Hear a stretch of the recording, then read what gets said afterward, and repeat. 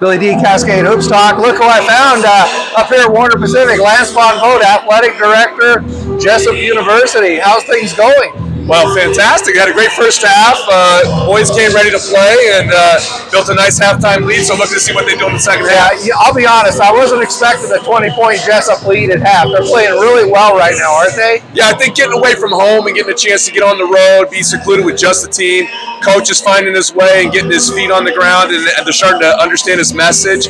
Add Ty Artist to the mix, and the team's just going to Yeah. get better and better. You know, I do want to ask you about Jessup Athletics, but you got to talk about the job Mark Darnell's doing. I, I think he's doing a great job there at Jessup. I'm gonna tell you what, you know, the, the, the way that that guy works and how much he cares, it's it's a perfect recipe for success. Uh, he, he has the resources. He's got a great roster of guys that care about each other.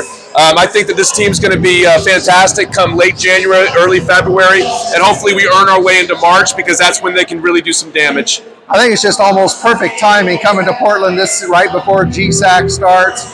I'll let the team gel a little bit. Yeah, you know, and Coach brought this to me uh, right when he got the job. He had the opportunity to kind of build out some of the schedule that it wasn't done, and he said, "Hey, what do you think about this? This would be a great trip to kind of simulate a conference uh, uh, road trip. It'll be Right. a chance for us to get a uh, used to staying in a hotel." And I said, "Yeah, let's do it."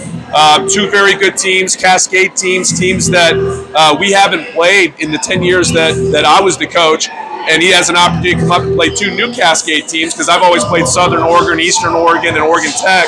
Yeah. Um, and so this was a great opportunity to, to check out some of the other teams in the Cascade. Yeah, it's great to see you up here in Portland. Uh, you know, let's talk just about Athletics. You got a lot of stuff going on. You're going to be moving to uh, the uh, oh the NC2A. What's the name of the conference? Pac West conference. The. Pac West. Uh, just tell us what's going on with Jessup Athletics right now.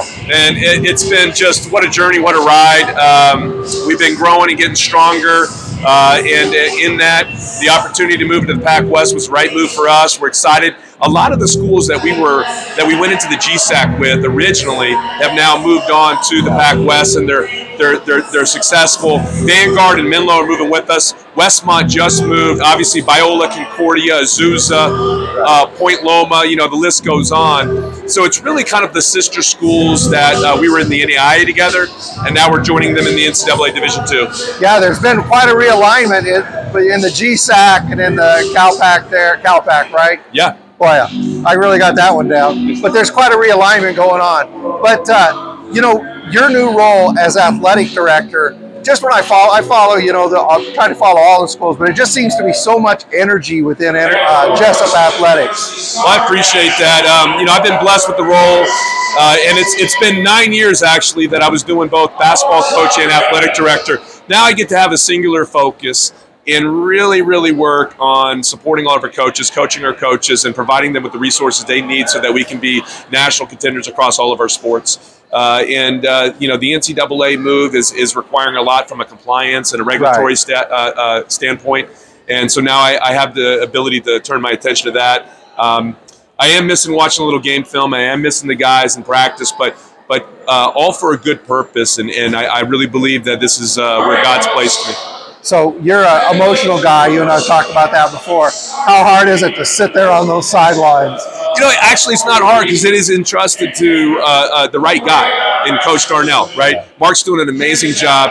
Travis Timmons, who was my assistant the last Yeah. couple of years, has stayed on on staff. He's doing an amazing job. We added John Bauer here, and then my volunteer assistant, uh, Mike Gervasoni's with the team as well. So there's still a strong connection, and and I see what they're doing and how hard they're working, and I couldn't be prouder. Lance, I think you're doing a great job. The Warriors are doing pretty well here at halftime. We'll see if they can hang on. Hope so. Lance Von Vogt at Jessup Athletics. Thanks, Lance. Thank you.